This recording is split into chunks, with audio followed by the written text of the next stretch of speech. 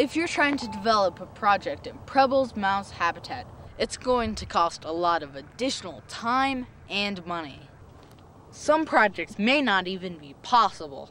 I thought I was doing the right thing, doing a fun project that I thought would be a benefit to us, obviously, in the city, uh, creating good quality office buildings where people could stay home rather than commute to southeast Denver. Obviously found that I was impacted by the mouse. In terms of time, it cost me well over 15, 16 months through this process.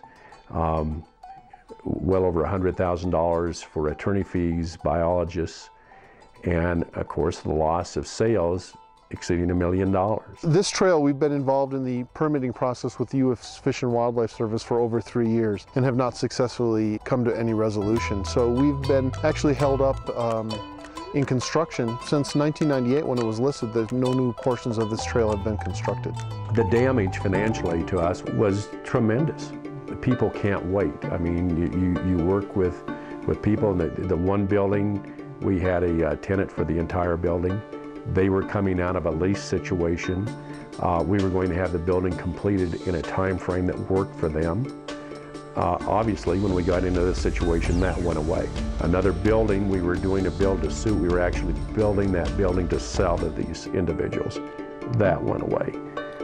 To the south of us, we had all three of those sites in Brookside 5 sold. They all went away.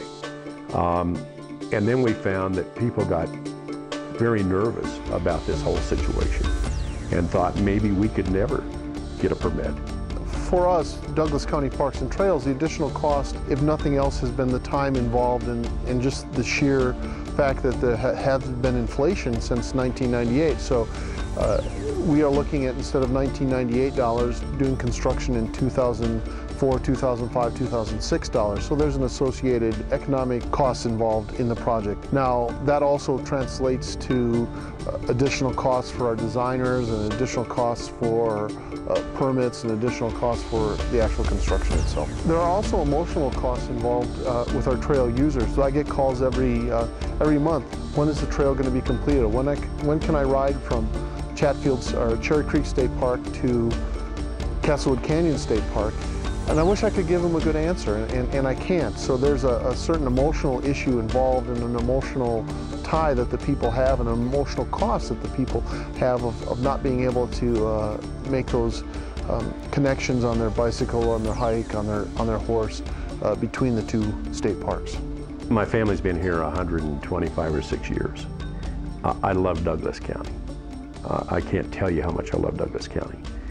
And I can't say that I'm an environmentalist, but obviously I don't want to th see things damaged. Um, after all, that's what makes our, our county beautiful, and that's why people are coming. But I still think that there's got to be some medium ground here, um, and, and, could have been, uh, where I don't think um, perhaps the, you'd impact the mouse. Um, I have my own theory on that. Uh, apparently, they've been around a long time. They've survived floods. Um, so I guess I'll stop at that.